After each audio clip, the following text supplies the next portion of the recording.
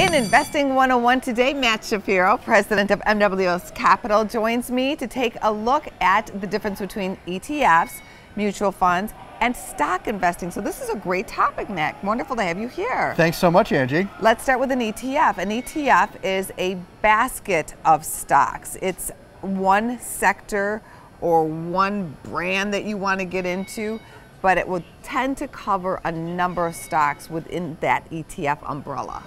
Correct. ETFs now the fashion of the day in investing. So ETFs have really swept the investing landscape, but of course investors now have added complexity along with that. Right. So what's the upside of investing in an ETF? The upside is at least what the ETF industry tells you is they have low cost and highly defined exposures to parts of the market. That's great, but there's also some downsides with the ETFs. Which is?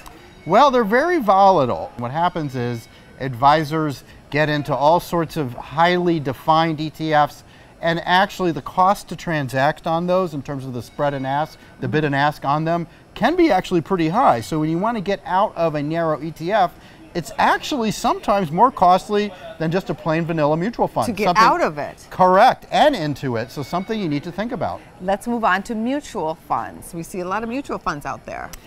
Right, the bread and butter of the industry, active management. What do you think about that? Kind of been a bad word. Ironically, not necessarily true nowadays. Most mutual funds, even the big actively managed ones, have expense ratios around 50 basis points, whereas an ETF, a, a, a narrowly defined ETF, might have a, a management fee comparable to that and when you add the transaction costs getting in and out of the market in an ETF, it's actually comparable. And with those large actively managed mutual funds, oftentimes you really have a highly skilled manager um, that's really well regarded in the industry, making some intelligent choices for the investments for you.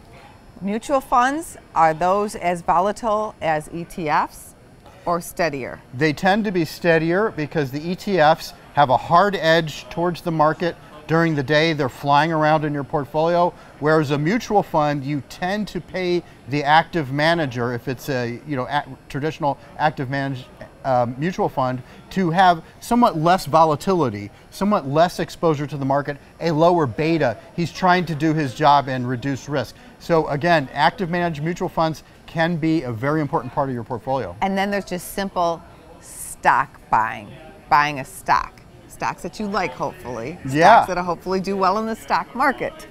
Great idea, and all it takes is a little knowledge, a little investing on your part, and think about any major large blue chip company is in a sense its own fund. It's got 100,000 people working every day to do their own segment in the market, whether it's making smartphones, making automobiles, or making glue or plastic. So you, in a sense, have your own fund working together. So seven to eight to nine to 25 stocks that you like that are large companies that pay dividends can be your own mutual fund and give you your own returns without all the headaches of ETFs or the expenses of active management.